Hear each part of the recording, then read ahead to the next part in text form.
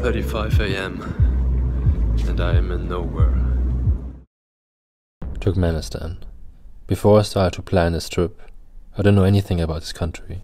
Getting a visa took more than two months, and I only got five days. Crossing the border from Iran into Turkmenistan took a while, cost more than expected, and was quite chaotic. After a few hours, I could finally leave the border point and make my way into the capital, Ashgabat.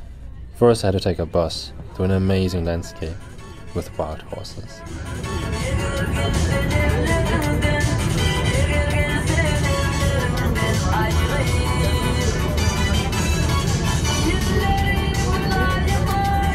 Then the bus stopped. I got my passport checked for the third time and had to change into a private car. After some bargaining, we drove into Ashgabat.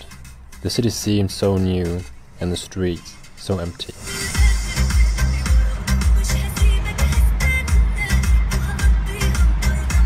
Explaining that I wanted to go to a train station was a little bit more difficult than expected. At a certain point, I just I was just saying like, so he, he knew where I wanted to go because he didn't understand train station and my Russian is shit.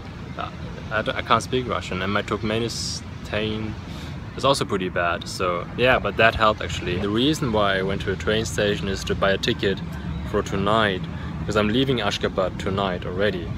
So the reason why I'm not staying in Ashgabat is money. Accommodation is kind of expensive here and I can't afford really to stay a night here so I will take a train to uh, the door to hell.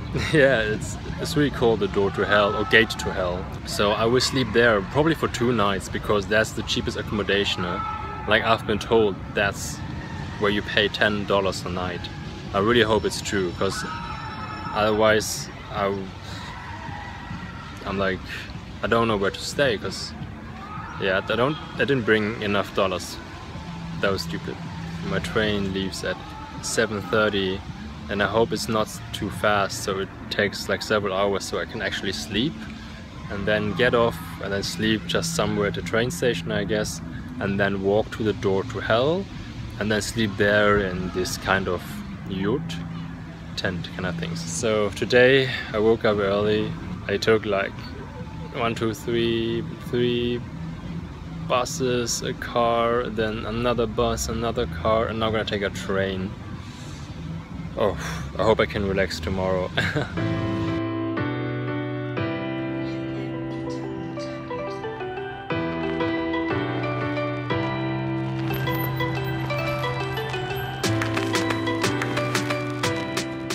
Back at the train station, I met a fellow traveler and some lovely locals. We had a chat, and then I had to rush. The train leaves in one minute. Okay, this is not what I expected. Apparently, there's like like the seat I have doesn't matter the seat number on my ticket.